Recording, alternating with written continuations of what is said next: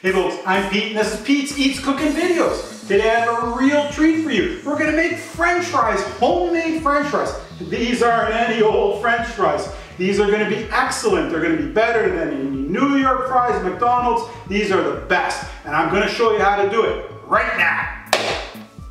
Here's what you're gonna need to make the fries. You're gonna need oil. I like using sunflower oil. You can use canola oil, vegetable oil, peanut oil, but not olive oil. You're gonna need potatoes. I like using russet potatoes or Prince Edward Island potatoes. Any potato that makes a good baking potato will make a good fry.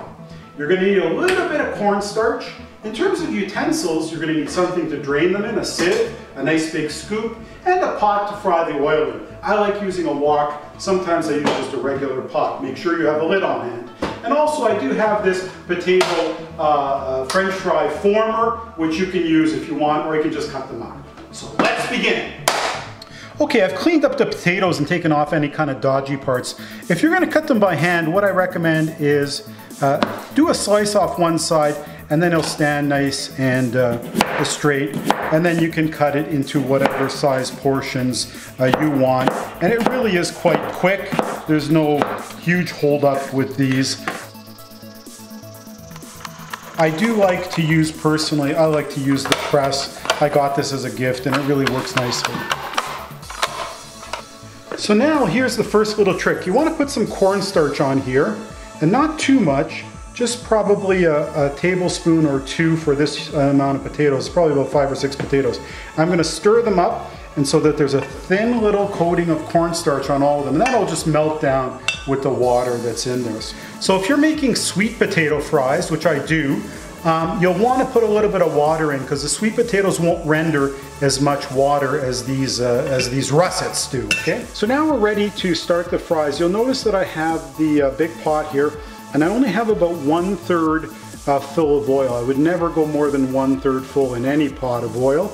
And this is a step where if you're a little bit apprehensive about frying with a lot of oil, forget it. Buy your fries elsewhere because uh, it really is a huge safety feature here and you want to have a lid nearby just in case. You don't want to keep the heat too high. It's got to be on a medium high heat and uh, you have to be comfortable doing this. So please make sure you're comfortable doing this before you attempt it. Let's see if the oil is hot enough. So I'm going to put one fry in and that is not hot enough. Notice how it's really not bubbling up at all. It's just sitting there. There's a tiny bit of bubbles coming off it. We need to wait a bit longer. So I think we're good to go now. The oil's heated up a bit. So we can put the uh, more fries in. You don't want to put too many in. That's about a good plate full of fries. You don't want to overcrowd them because you'll, you'll uh, reduce the temperature of the oil too much. So it's been about four minutes or so and uh, now they're sort of 95% done. You can feel they're kind of hard when you hit them with the uh, spatula.